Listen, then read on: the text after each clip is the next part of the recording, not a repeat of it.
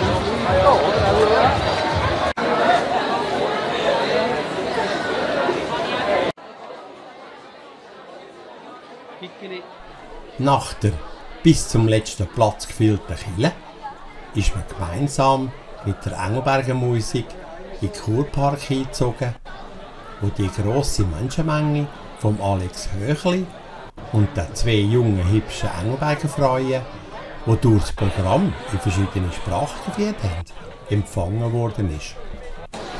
Nach dem besinnlichen Gottesdienst in der Klosterkirche möchten wir uns gemeinsam mit Ihnen bei den Darbietungen unserer Musikgesellschaft, des Jodlervereins, des Echos vom Sparrort und mit der offiziellen Ansprache unserer Nationalrätin Frau Monika Rüecker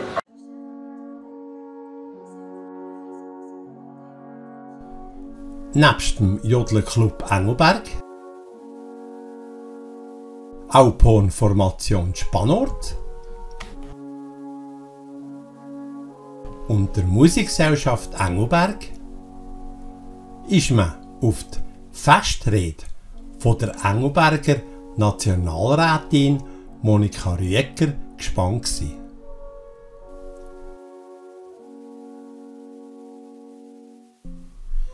Sie hat sich, wie immer, mit ihrem Auftritt wortgewandt ans Publikum gewendet, mit Themen, die zum Nachdenken angeregt haben. Man darf und soll zum Beispiel zu Wertschätzungen und seinen eigenen Meinungen zu gewissen Themen stehen und die auch vertreten.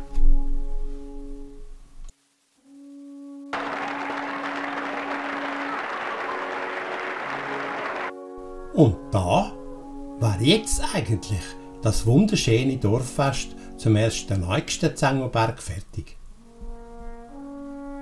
Habe ich daraus irgendetwas können profitieren von dem, was ich gehört habe in der Kirche oder in der Festrede?